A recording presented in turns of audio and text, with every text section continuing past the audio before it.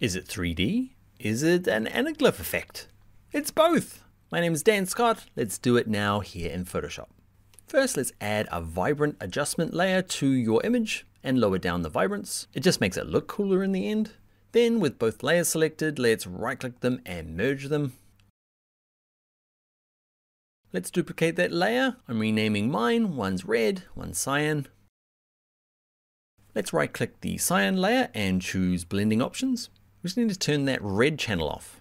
Now let's do the same to that red layer. Go into blending options and we're going to turn off the green and blue, the G and B. Finally, just pick up one of the layers and just move it left or right. Look at that. If you want a more detailed full length video and free, check out this link here and I'll see you in the video.